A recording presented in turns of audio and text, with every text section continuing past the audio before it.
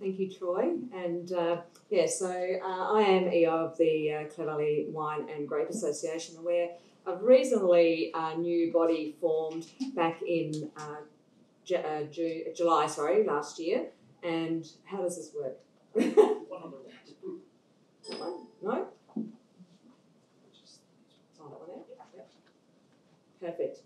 So we had two, basically two organisations, uh, the Clare Valley Wine Makers and the Clare Valley Wine Grape Growers Association, and um, they've both been operating for quite some time, as you can see, 1975 for the winemakers and 2000 for the grape growers.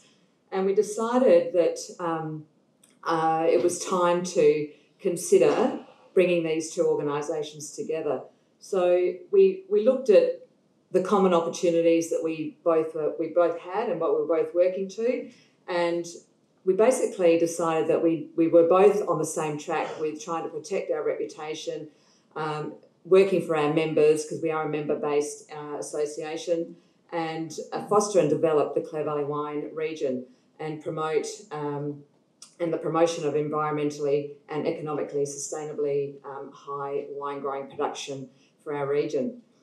Um, we also looked at the possibility of, and we've talked about collaboration. So um, certainly there was opportunity for collaboration um, with wine tourism through uh, increasing our marketing uh, opportunities.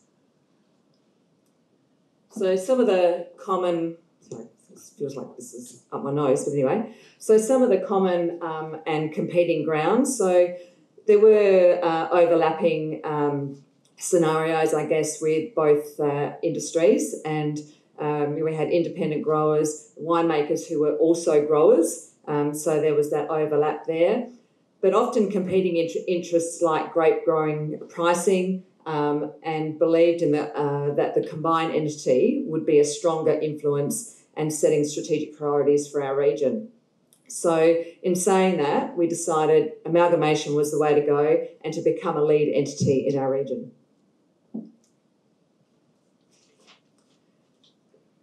So, just a little bit of background and shared challenges that we, we came across.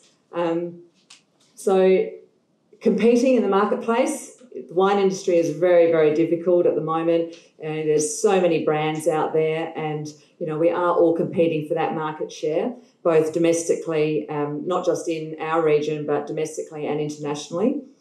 Water is definitely um, a huge issue for a lot of wine growing regions, and Clare Valley is no different. So we um, felt that that was one of the driving forces as well for the amalgamation process. Um, we do have a lack of corporates in our region, so we are all family owned um, and family invested businesses, and um, you know they the, the lack of corporates does prove a challenge in that they have a larger pool of resources that that um, you know, our association could draw on. And our resources that we did have were all voluntary and already working in smaller businesses, and they weren't being paid by our industry, and so it was forming, uh, causing a bit of uh, problem with actually being able to get activity done and to, to actually drive the Clare Valley wine industry.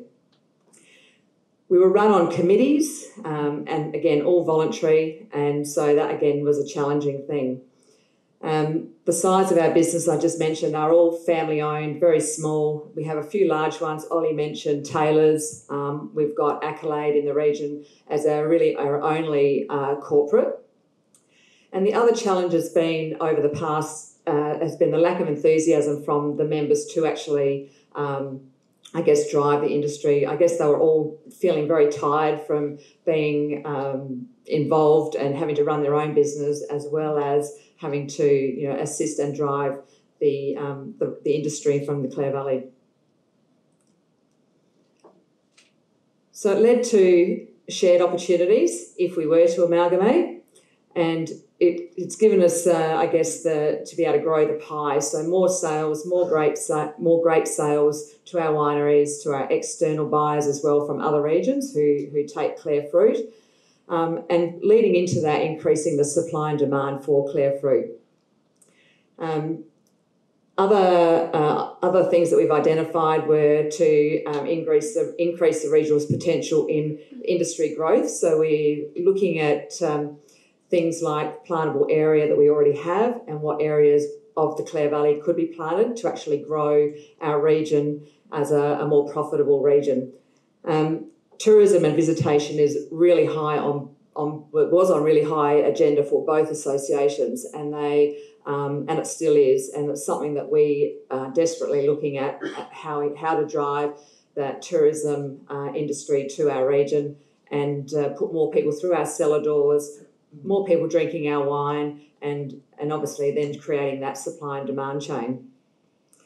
So some of the some of the common and unique high level assets. Um, the Clare Valley wine region. I don't know if anybody's been to Clare other than most people I know in the region that live in Clare, like Deb. um, we, you know, we're, we're quite diverse, we're family owned, and I think that we are the quintessential Australian uh, region. We have agriculture, we have viticulture, we have tourism, we have food. So we, uh, you know, we, we, we are pretty much a one stop shop for anybody who wants uh, an experience in agriculture, food, and wine.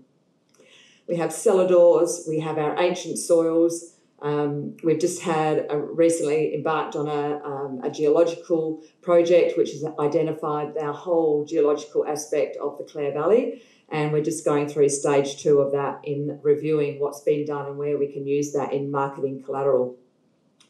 Um, we have some of the oldest wine growing um, businesses like the Seven Hills Cellars. They were the first to plant vines in the Clare Valley and they grew uh, grapes to make sacramental wine to um, to distribute through the whole of Australia and still do so as well as internationally.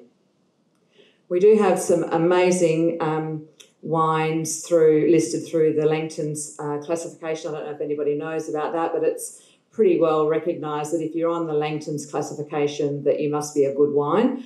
And most of our um, award winning wines on that classification are red wines. And so Clare Valley is known for Riesling pretty well, but um, we have some amazing red wines that are coming out of that region. And we're just about to embark on uh, a project to, uh, to drive that, uh, I guess, that awareness of our red wines. The Clare Valley also is a great proximity to the Flinders Ranges and we often call ourselves the gateway to the Flinders. Um, however, the traffic tends to get diverted through uh, Port Wakefield Road, up that boring highway to Port Augusta and, and out that way. So if you're ever travelling to the Flinders, please come through the Clare Valley.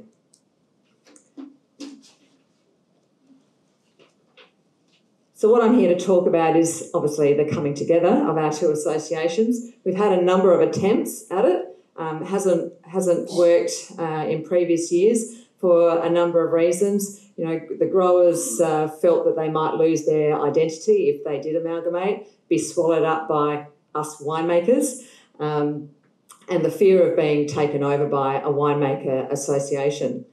Um, at the time, um, you know, members didn't think that they had the time or the interest to actually make it work because we were having to drive it from within our own associations and you know convincing the winemakers and grape growers to support the introduction of a wine industry levy, which most regions other than Coonawarra have, and that is their main form of revenue um, for uh, driving marketing and, and uh, technology and research and development within their associations.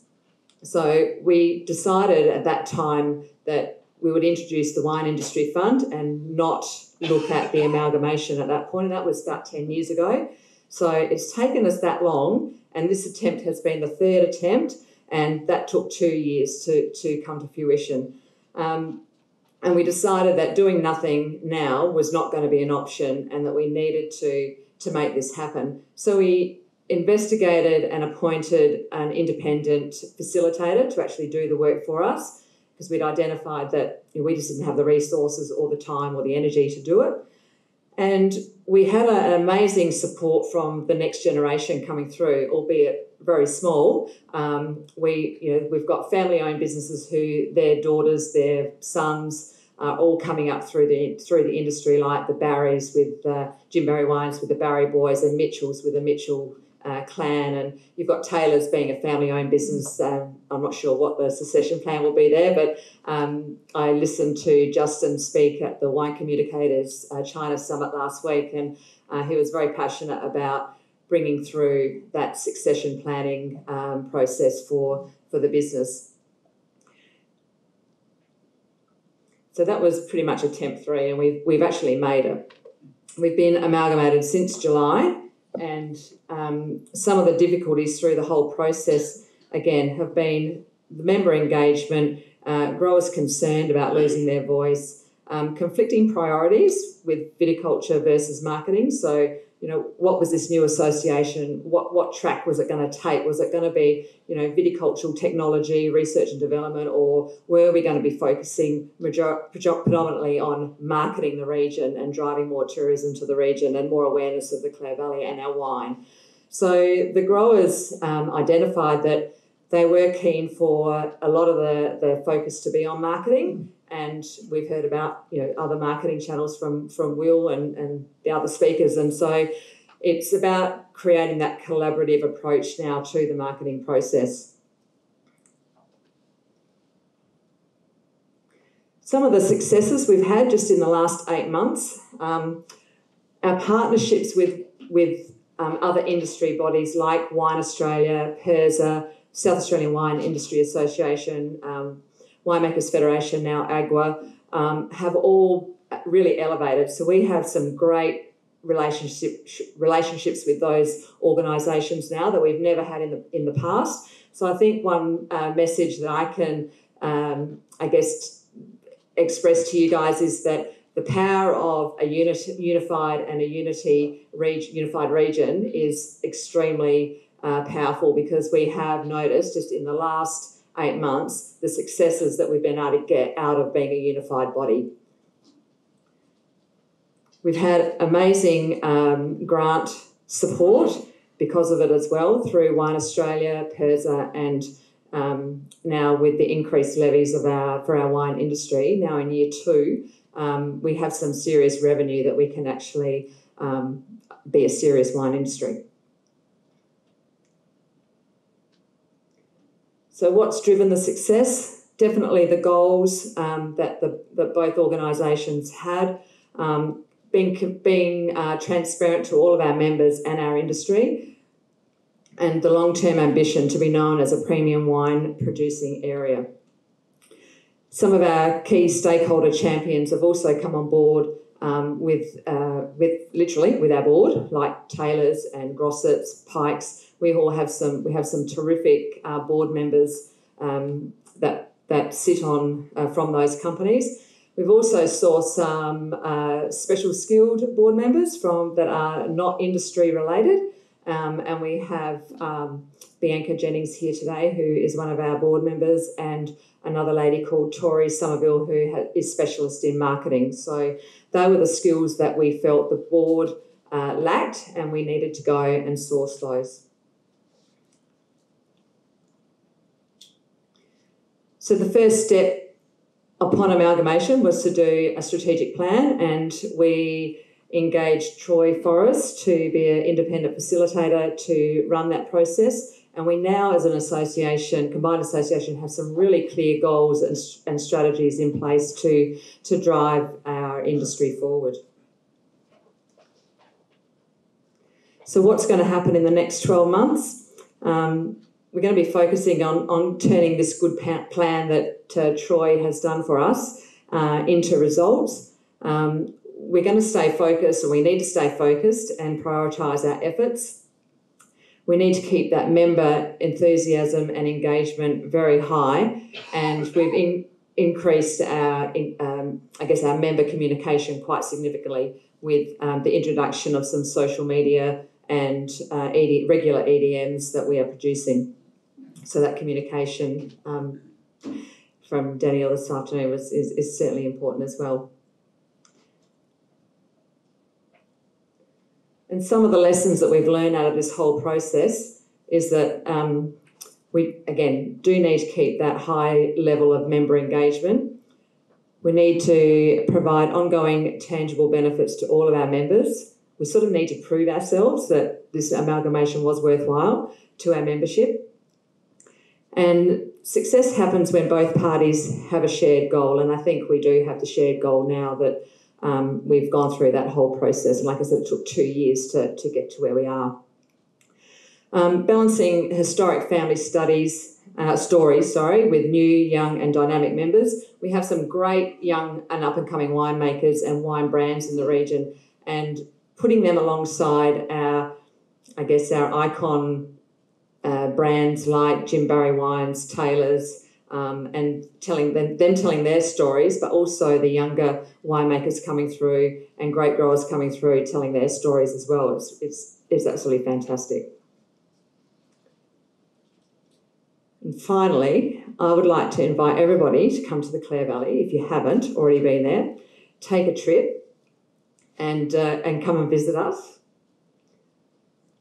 We have everything on offer. Um, we have great food, we have great wine. You can go and visit the canola fields and you can go and see the Bungaree station and the working sheep station, and you can go and uh, Pangkarra um, farm and, and pick lentils, I suppose, um, if you choose to. So we do have all of that available in the Clare Valley. Um, we're not just wine, food, and, and tourism. We, we have some really great major events in the region uh, with our gourmet weekend coming up, um, Shakespeare in the Vines. So, you know, we, we are a one stop shop really for all your tourism needs. And I think that's it, but I'm just going to say something. Um, I heard the other day, or somebody told me the other day, that um, I'm not a Crows supporter, so don't think that I am. But the if you follow the if you follow the um, Adelaide Crows women's team, I believe when they first formed, they had um, members that were based in Darwin and members that were or players that were based in Darwin and players that were based in in Adelaide. They trained separately and then came together to actually play the match on the on the weekend. And the last two years they've been doing that. Now I don't know what ratio players are in Darwin and, and are in Adelaide now, but I guess what I'm leading to is they did have success this year with actually winning the women's grand final. So thank you.